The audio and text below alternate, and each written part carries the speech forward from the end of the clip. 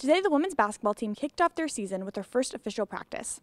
The team welcomed six new players as well as a new assistant coach, and they've been hard at work preparing for the season ahead. Today was the first day of practice. How does the team feel going into this season? The team's done a great job in the last 10 to 12 weeks as far as coming together with the team chemistry. Um, and they've been really working hard on that, having six new players into the fold and five returners. There was really good energy. The excitement is always really high. And again, it's how are we going to mold the chemistry of everyone's first day of practice where they've come from a junior college or now they've come from high school. Um, everyone's experience up until this point has been different. So I'm trying to get them all on the same page and uh, learn to execute together. Right now, we're just building up so some of our main plays.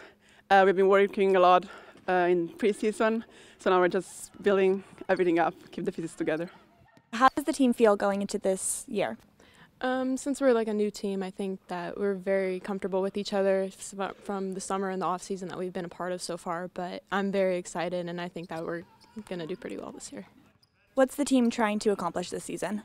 Well, our, our number one goal is always league championship and playing in the postseason. But I think definitely smaller goals um, that we have on the board are where do we want to be field goal defense wise, where do we want to be rebounding wise, uh, what's our scoring offense wise. So we have a lot of different um, points along the scale of where we want to be goal wise, and then those will adjust throughout the year.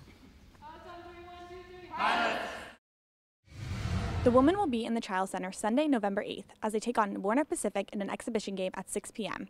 For more information on their schedule, go to portlandpilots.com. For Portland Sports Network, I'm Katherine Kelly.